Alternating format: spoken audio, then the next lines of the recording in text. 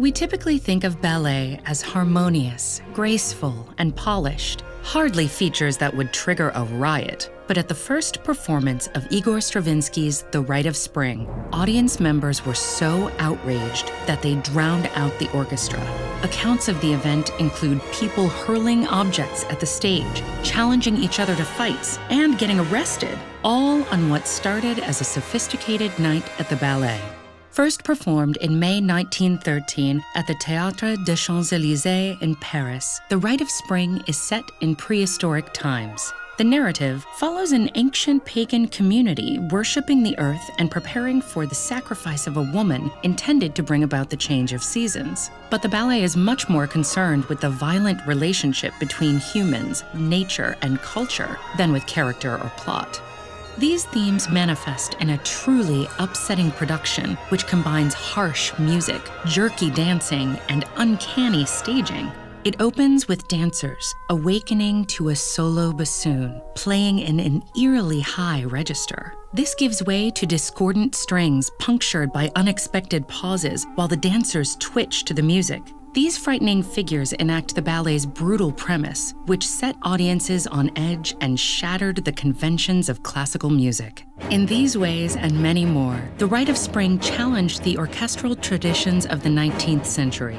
Composed on the cusp of both the First World War and the Russian Revolution, The Rite of Spring seethes with urgency. This tension is reflected in various formal experiments, including innovative uses of syncopation, or irregular rhythm, atonality, or the lack of a single key, and the presence of multiple time signatures.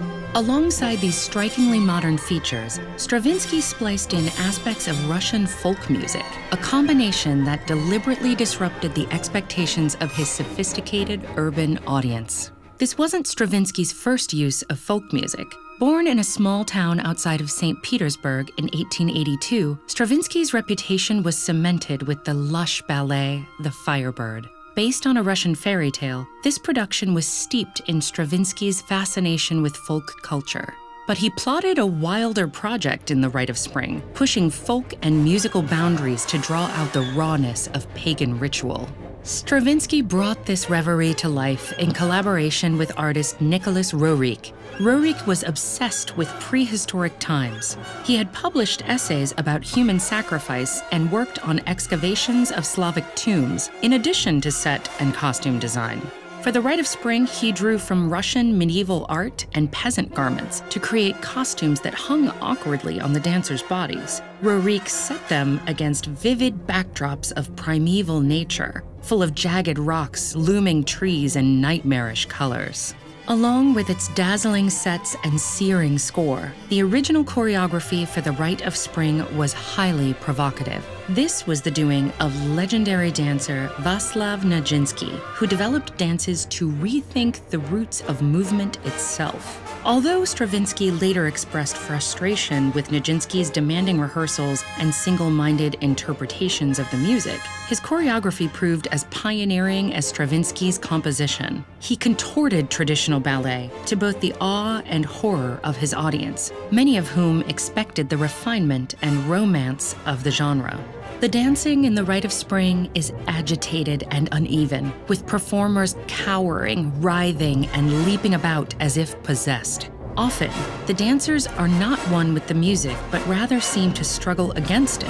Nijinsky instructed them to turn their toes inwards and land heavily after jumps, often off the beat. For the final frenzied scene, a woman dances herself to death to loud bangs and jarring strings, the ballet ends abruptly on a harsh, haunting chord.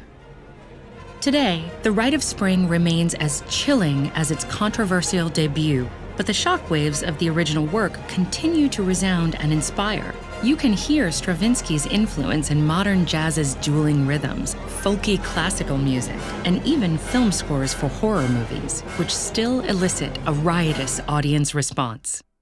In the third act of Swan Lake, the black swan spins on one pointed foot 32 times. Find out the physics behind the hardest move in ballet in this video.